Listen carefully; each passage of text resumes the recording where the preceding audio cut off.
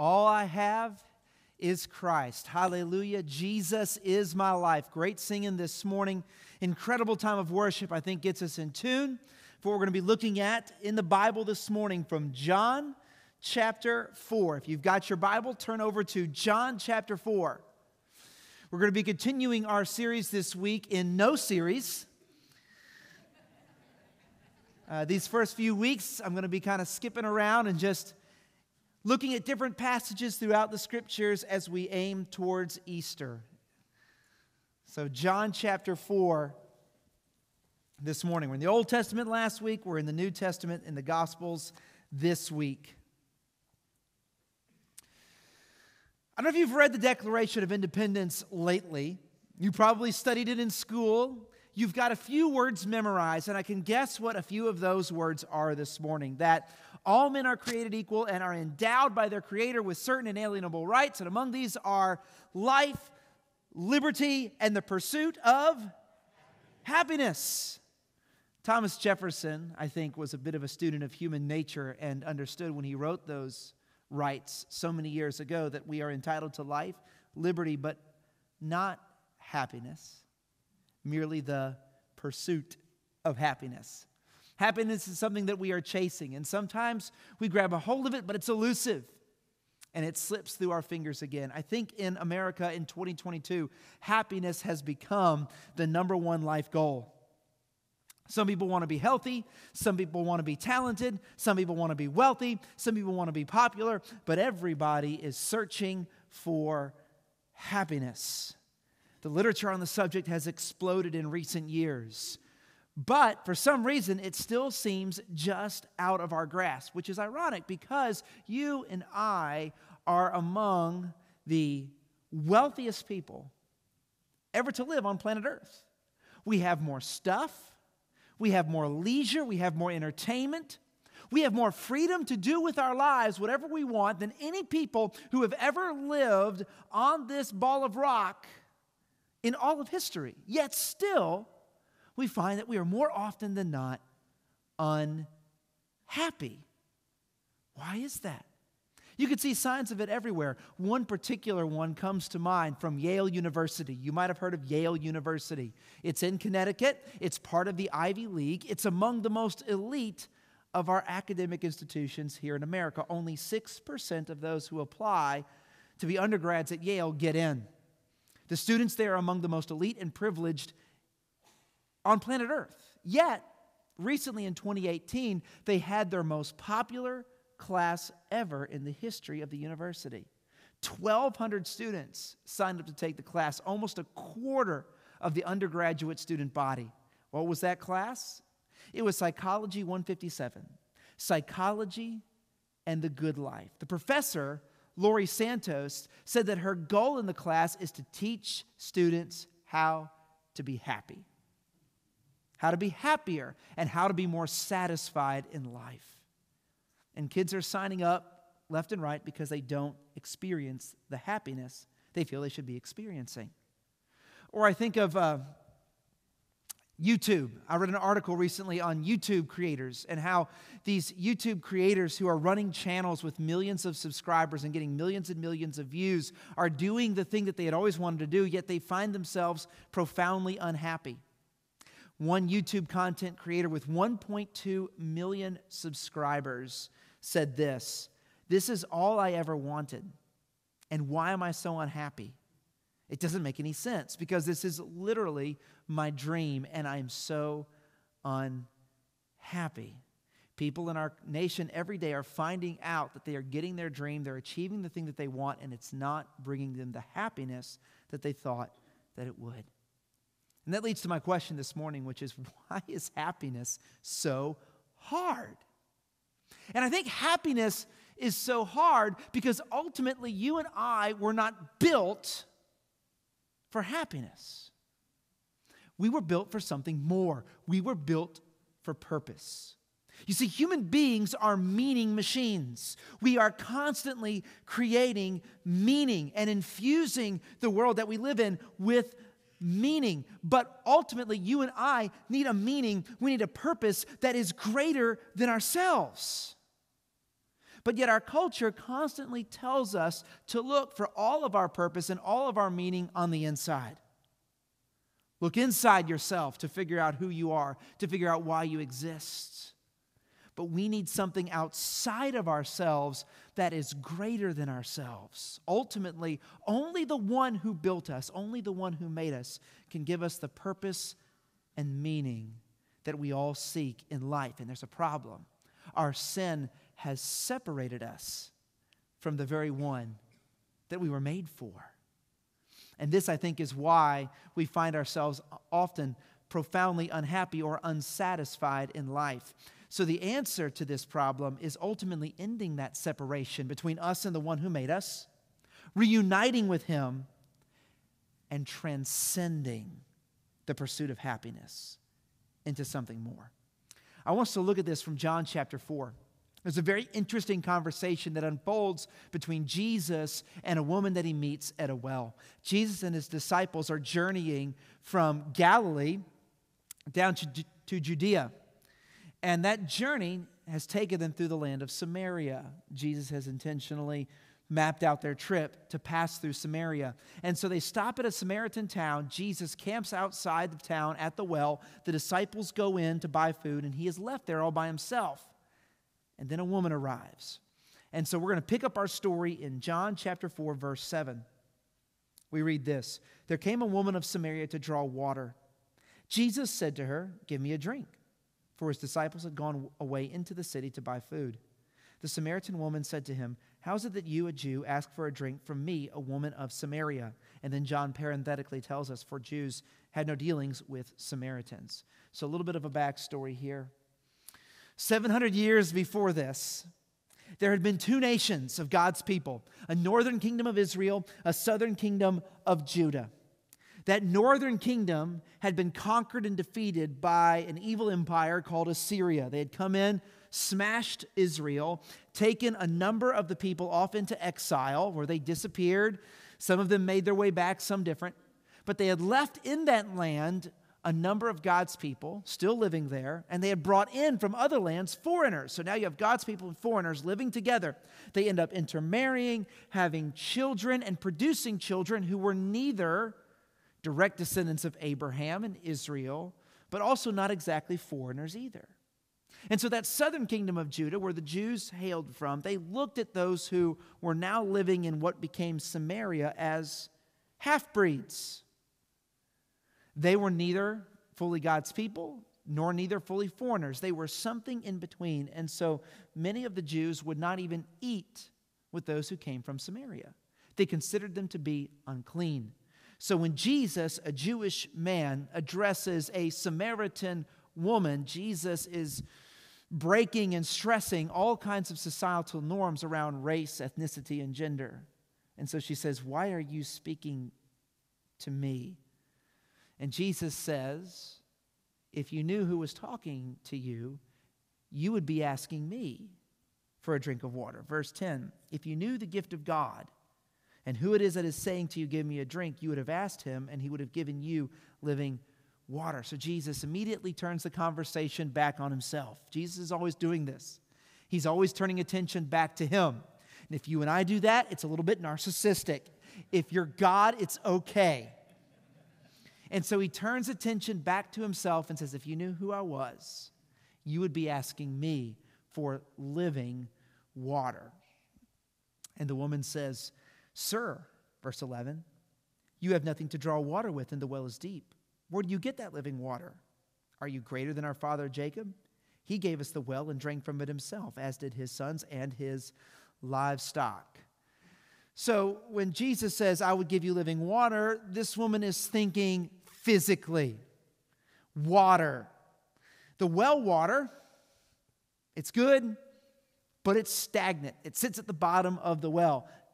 The better thing than having well water is to have living water, which in our terminology we would call running water. It's water that's moving. You know that if you're out in the woods and you need a drink, you need to look for water that is moving, a flowing stream, a rushing river, something like that. You want to avoid stagnant pools of water. Why? Because in stagnant pools of water, there's lots of sediment and dirt, but also parasites, bacteria, Insects breed there, mosquitoes breed there. We want to stay away from stagnant water. Living, rushing, moving water is better for the health. And so the, the woman replies, Are you greater than Jacob? Our father Jacob came to this spot. He couldn't find any living water, so he dug this well, and we've been happy to get water out from it ever since. Are you greater than Jacob that you have a source of water he didn't know anything about? I would be interested. So the woman is thinking purely in the physical sense at this moment. But of course, Jesus, as is often the case, is not speaking purely literally, he's speaking metaphorically. And he digs into this in verse 13. Jesus said to her, Everyone who drinks of this water will be thirsty again, but whoever drinks of the water that I will give him will never be thirsty forever. The water that I will give him will become in him a spring of water welling up to eternal life. Everyone who drinks of this water will be thirsty again. Now, for you and I, water is something that we use on a regular basis and we don't think anything about it. If we're thirsty, we go to a water fountain, we get a drink. We go to the fridge and we grab a drink. If we need to clean something, we use our sink. We even fill our toilet bowls with purely clean water, though I still wouldn't recommend drinking from it. But back in the day, in this time, water was a big deal.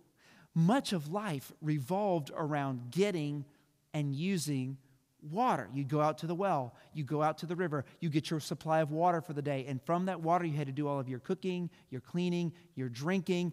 And so at this day and age, most people spent most of their life thirsty. There was no indoor plumbing, there wasn't even much of outdoor plumbing. Any water you had was a precious commodity, and so thirst was a regular experience. They knew thirst in a way that you and I simply do not. So when Jesus says, I can give you water, you will never be thirsty again, she is very interested. What is this magic water you speak of? And so she says, Sir, give me this water, verse 15, so that I will not be thirsty or have to come here to draw water. I'm really interested in this magic water. At first, we were talking about living water. Now we're talking about magic water. I won't ever have to thirst. I won't ever have to come here again. So she's interested. But then we read in verse 16 Jesus said to her, Go call your husband and come here. The woman answered him, I have no husband.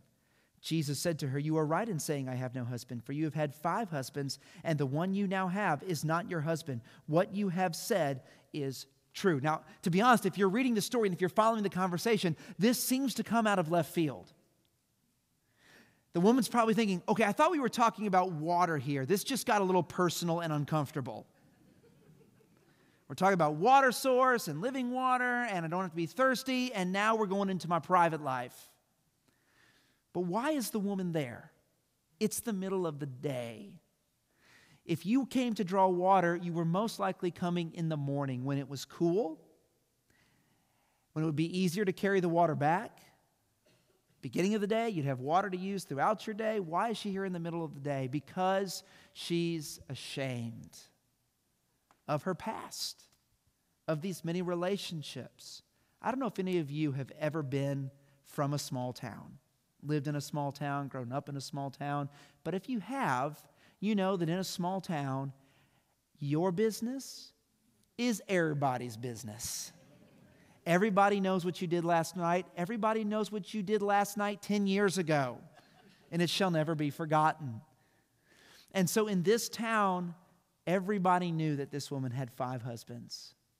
Everybody talked about the fact that the man she was living with now was not her husband. And so she comes at the middle of the day to avoid the gossip, the stares, the judgment, the shame. And so Jesus is opening up a can of worms in this woman's life because he has something very important to share with her. And at this moment, the woman is starting to think, okay, I thought we were talking about water, but now I feel like we were talking about something else all along. And what Jesus is saying to this woman, you have been looking to satisfy your thirst in these different wells, and it's not worked. You've been looking to satisfy your thirst in the well of men and relationships, and you have moved from well to well to well, and they have left you dry, thirsty, and unsatisfied. The well you've been drawing from hasn't quenched your thirst. I think all of us can relate. I don't know what well you're dipping in this morning. You probably don't come in here having had five husbands. But either way, all of us have looked at some well and we have dipped our bucket in that well, hoping it would satisfy our thirst. And it did for a little while, but if we're honest, it's not quenched it.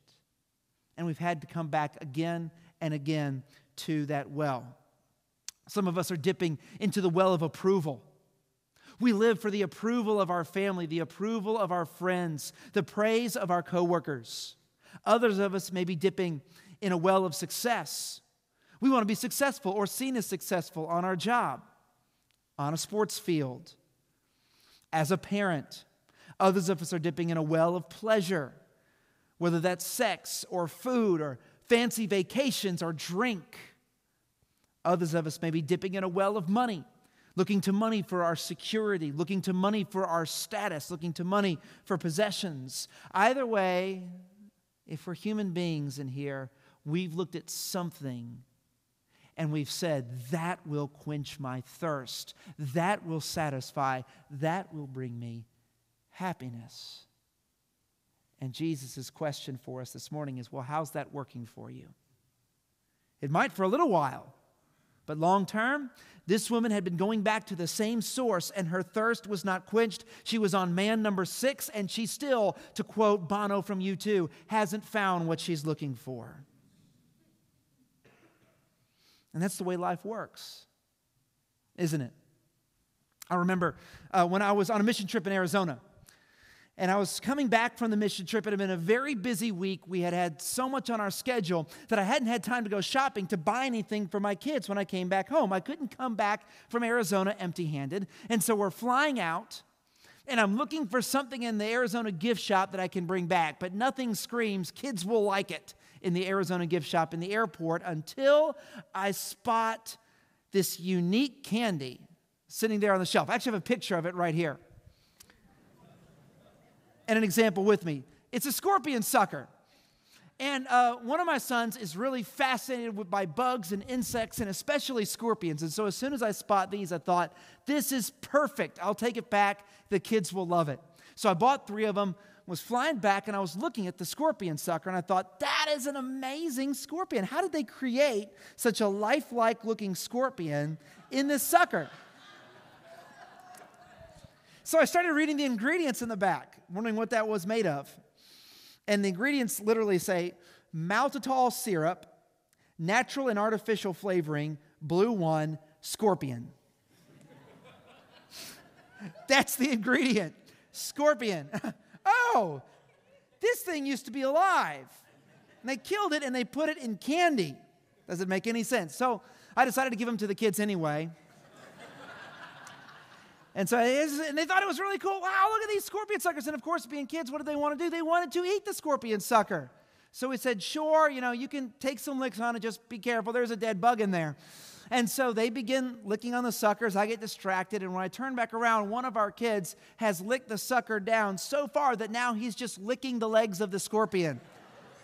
and so I took the, the, the sucker away and said, we're just going to take a pause on the scorpion sucker for a little while, and maybe we'll get them back out later. We haven't gotten that one back out later.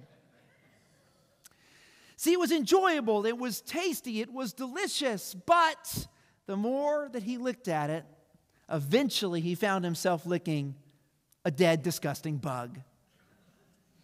And that's the things that we go after in life, the things that we think will make us happy.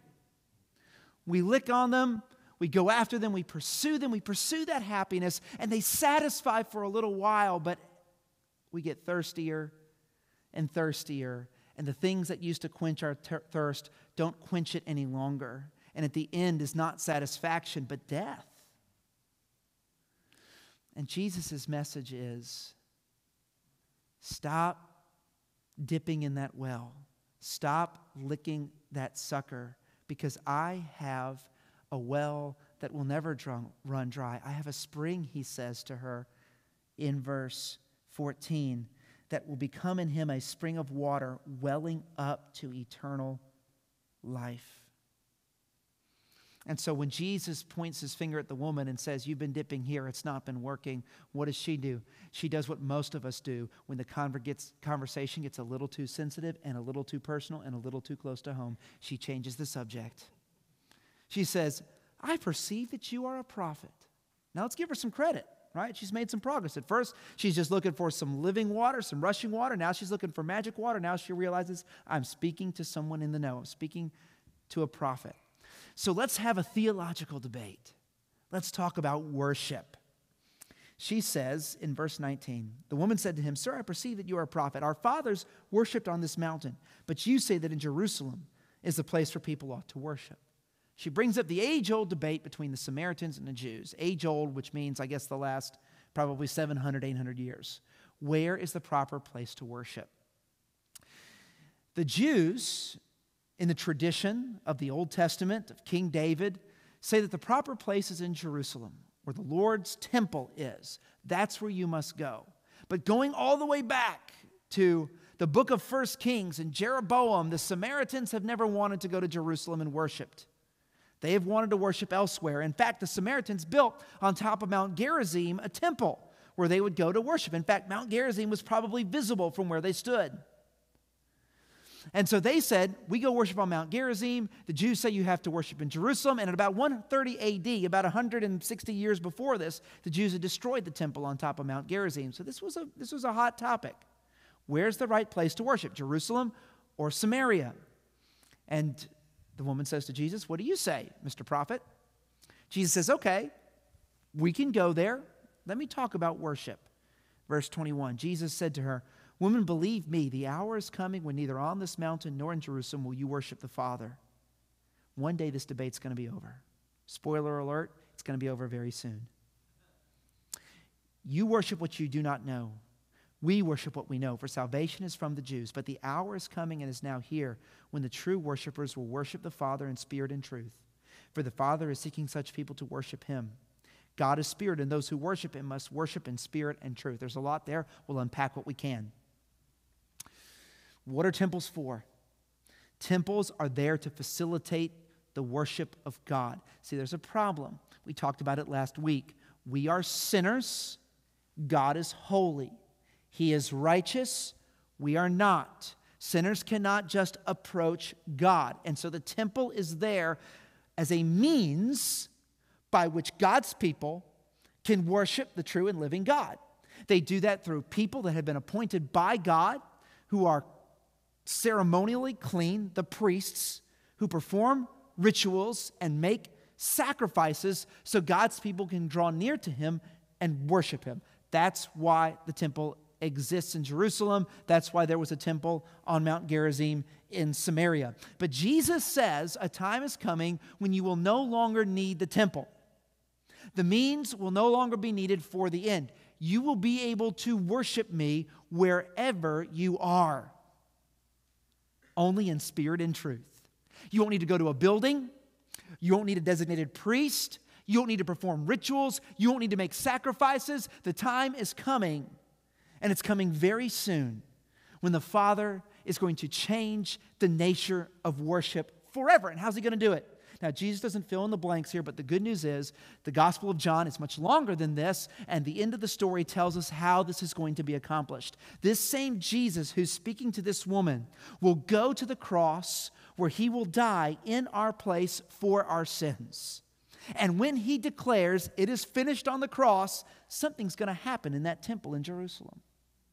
You see, in that temple in Jerusalem, there's a curtain, a very large, thick curtain that separates the priests from the Holy of Holies where the presence of God is. Separated by a curtain. God's people, God. Curtain between them, symbolizing the way that we are walled off from his presence. But when Jesus dies on the cross and cries out, It is finished, hands, invisible, unseen hands, are going to take that curtain and rip it from top to bottom because the barrier between us and our God has been erased.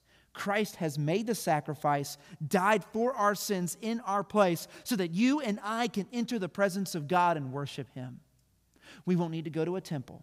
We won't need to go to a priest. The way has been made through the sacrifice of Jesus Christ. And so now we worship him in spirit and in truth. God's spirit, his very presence dwells within us. What does Paul call us in 1 Corinthians chapter 6? A temple of the Holy Spirit. God's presence, that same presence that was behind the curtain in the holy of holies now dwells in you and me. And we worship him in that spirit and in the truth. The truth that God's son Jesus has come and given his life and died in our place for our sins. We worship him in his presence through his spirit in our lives and in the truth of the gospel that changes our lives. So that when we come here on Sunday morning, we worship, but when we go to work on Monday morning, we're worshiping yet still because we now worship in spirit and in truth. Jesus says to the woman, The debate is going to be over because I'm going to end it once and for all. We're not going to worship at Mount Gerizim. We're not going to worship in Jerusalem. We're going to worship anywhere and everywhere in spirit and in truth. And so the woman replies, she realizes some of what he's saying here. She connects it with what she understands from what's been taught from the Old Testament.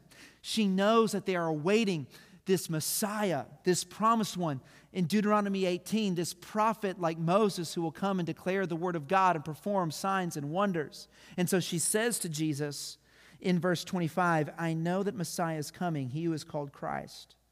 When he comes, he will tell us all things. We're waiting for the promised one of God who's going to settle these things like you're talking about. And then Jesus makes this startling statement. Verse 26, Jesus said to her, I who speak to you am he.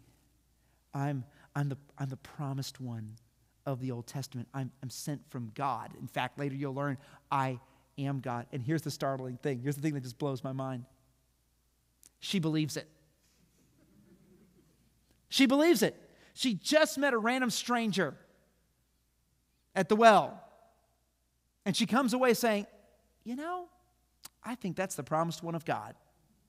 Uh, just can you imagine that for a moment in your own life for a second? Let's just say you went to, you went to a doctor's appointment and you go and you sit in the waiting room and your phone, you didn't charge it, it's out of power, so you have to actually look around for something else to do for once. I know it's a horrifying thought in today's day and age, right? To have to wait without your phone to look at, but let's suppose that's the case. There's no magazines to speak of except a Sports Illustrated from 2019. And so you actually start a conversation with the guy next to you. And you talk for about 45 minutes, it's a long wait. And after that conversation is over, the nurse calls you back. And when you go back into the office, you say to the nurse, You know that guy I was talking to in the waiting room? Yeah, I think he might be God. Like, what kind of encounter, what kind of conversation do you have to have with somebody that after a, a, brief conversation, and we don't know how long they talk, let's say it was 45 minutes, you walk away thinking, this is the promised Messiah, this is the one sent from God, this is the Son of God. And as mind blowing as that is, let's think of it like this the disciples who spent three straight years with Jesus, who ate with him, who walked with him, who traveled with him, who shared meals with him all day, every day for three years. Listen, I've been on long trips with a lot of people. I've never walked away from any of those thinking maybe that person was sent from God. Maybe as a test from God to test my nerves. But never that they were God in the flesh. But yet, after three years, the disciples walk away from that experience saying, We walked with God. What kind of life do you have to live? What kind of person do you have to be? Tim Keller, who's a pastor, said it this way He said, In the whole history of the world, there is only one person who not only claimed to be God himself, but also got enormous numbers of people to believe it. Only Jesus combines claims of divinity with the most beautiful life of humanity. There was just something about meeting Jesus that changes you. And, and, that's what we see in the remaining part of the passage in the life of this woman. She is transformed. Verse 27 Just then his disciples came back. They marveled that he was talking with a woman. Again, Jesus is breaking some norms around gender and, and ethnicity here. But no one said, What do you seek or why are you talking with her? Verse 28. So the woman left her water jar and went away into town. Don't miss the details. Why was she at the well? Because she needed water. Remember, life revolves around getting that water. I got to cook, I got to clean, I got to drink, I got to do everything with this water. She comes with a jar. She meets Jesus. She goes back to town. The jar is still at the well. She done forgot the whole reason she came. Because she met Jesus. I don't know why you're here this morning. I imagine some of you are here because you've been dragged here by a parent, by a spouse. Some of you may be here because you are living up to everyone's expectations, and this is where you're expected to be. Some of you may be here out of a sense of duty and obligation. Some of you may be here because you think that doing so will earn you blessing or favor from God. But let me tell you, once you get hold of Jesus, whatever reason brought you in proximity with Him will pale in comparison to what happens when you meet Him. You forget any of the other concerns because you have found living water. You found the well that won't run dry. You found the one thing that will quench your thirst. And that's true of this woman. She leaves the water jar behind. And where does she go? Back to town. Why was she there in the middle of the day? Remember? She was there in the middle of the day because she'd had five husbands. She was living with a man. She was embarrassed. She was ashamed. She was a source of gossip. She went there in the middle of the day to avoid people. And what did she do after she meets Jesus? She runs back to the very people that she was avoiding to say, Let me tell you about Jesus. What does it say? It says, So the woman left her water jar and went away into town and said to the people, Come see a man who told me all that I ever did. And you all already know about it. I see you whispering back there. Come see a man who told me all that I ever did. Can this be the Christ? They went out of the town and were coming to him. Something about meeting Jesus changed everything for this woman. It changed her understanding of who she was. She went to that well with shame. She went to that well with guilt. She went to that well with a burden. She left that well with her shame covered. She no longer was living in fear. She didn't worry about her past because something about meeting Jesus had done something to her that the people in the town had to go see. What happened to this woman? And now they can't wait to go and meet this man either, who claims to be the Christ. In fact, we read in verse 39 many Samaritans from that town believed in him because of the woman's testimony. When you meet Jesus, something happens to you. Have you had that encounter? Have you found that well that never runs dry? Have you found that drink that will quench your thirst? Have you found that love that will cover over all of your shame and guilt? Have you had an encounter that other people want to hear about. Because when you meet Jesus, when you leave the water jar behind, when He covers your past with His grace, when you meet the promised one, other people are going to want to meet Him too. Many believed because of this woman's testimony, John 4 39. How many will believe because of our testimony? Because when you get a drink of living water, other people want to know where that water fountain at. I need a drink of that too. Jesus offers a spring of water that never runs dry. In fact, it carries you not only through this life, but he tells us in John 4 14, but it will be a spring of water welling up to eternal life. And here's the thing in life, sometimes you're going to be happy, things are going to go your way. More often than not, you're probably going to be unhappy when things are not going your way. But when you have a spring that never runs dry, it won't matter. Happy, unhappy, because your thirst will be quenched. You'll have found the one that you are made for. And you'll finally be able to transcend the pursuit of happiness into something even greater the pursuit of joy and purpose and life in Jesus. And you'll be like the psalmist in Psalm 1, who says that in the Lord you are like a tree planted by streams of water, and you will yield your fruit in season, in happiness, and out of season, in unhappiness. But you got to stop drinking out of the well you're drinking out of and drink out of His. When my son, my oldest son, turned one year old, We threw a big birthday celebration for him and invited all of our friends and family to it. And the highlight of the celebration was when we were going to present him with his birthday cake. At this point in his life, he had never really had sweets. You know, you just don't usually stuff your six month old with candy. And so we had been waiting for this moment to give him something truly delicious. At this point in his life, the most exciting snack he had ever had were these things called puffs. Some of you remember puffs. It's like a dried cereal, fruit flavored food. And so the moment arrives, we sit him in his high chair, everybody gathers around, we sing happy birthday, the cake comes out, we plop it in front of him, his candle's burning, he blows it out with some help, and now we just know he's going to dig in, he's going to smash his face in it, he's going to shovel it in his mouth. But instead, he didn't want to eat it. In fact, when we encourage him to eat it, he flat refuses to eat it. And everybody is gathered around, so we want to make sure he eats some cake, so we cut it into smaller pieces. Maybe it's, it's too big. So we cut it into smaller pieces, give it to him. Still, he doesn't want to eat the cake. So then we get strategic. We go and get his puffs.